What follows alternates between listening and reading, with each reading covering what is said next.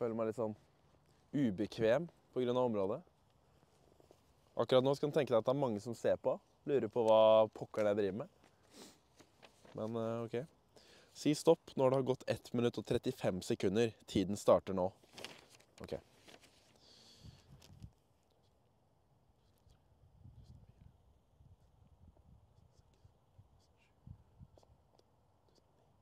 tusen og ti, tusen og elleve, tusen og tolv, tusen og tretten, tusen og fjorten, tusen og femten, tusen og seksten, tusen og sytten, tusen og atten, tusen og nitten, tusen og tjue, tusen og tjueen, tusen og tjueto, tusen og tjuetre, tusen og tjuefire, tusen og tjuefem Ikke snakk med deg. Tusen og tjuesju, tusen og tjueåtte, tusen og tjueni Jeg hoppa over et tall fordi du snakker med deg. Tusen og trettien, tusen og trettito, tusen og trettitre, tusen og trettifire Hvor mange sekunder er det egentlig? Tusen og trettiseks, tusen og trettisju 38, 39, 40.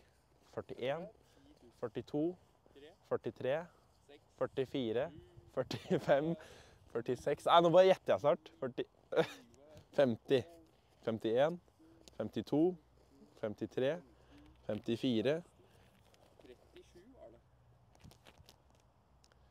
Nå har jeg gått ett minutt, cirka. Jeg gjetter fordi man har en pizza i tolv minutter. Nei, Det er ikke noe vits å snakke om det nå. Ja, Nå er jeg helt ute av tellinga, så nå blir det bare gjetting. Én, to, tre Nå er, nå er jeg tapt, alt. Nå er det bare på feeling. Du kan si at det ikke er lov å telle. En pizza skal stekes i tolv minutter. Hvis jeg deler opp den i tolv biter Ti sekunder igjen, sikkert. Ti, ni, åtte sju, seks, fem, fire, tre, to, én. Der er vi ferdig. Rimelig sikker på at det er eh, helt Klarer faen ikke å åpne brød med de hanskene her. Si stopp når det har gått 1 minutt og 35 sekunder. Tiden starter nå.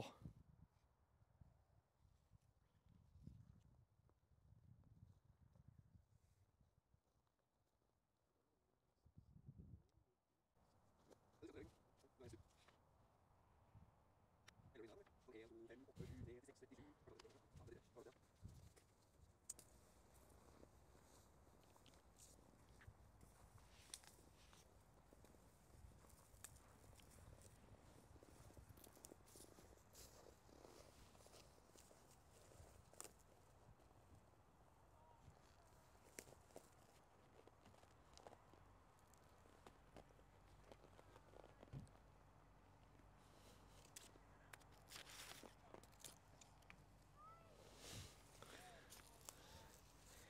Klarer ikke å sette ut meg, vet du. Han jo langt over tida nå.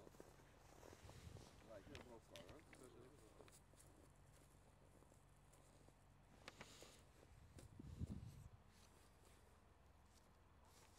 Det var lettere å sette ut der, for da var det flinke folk i veien. Stopp. Nå er jeg ferdig.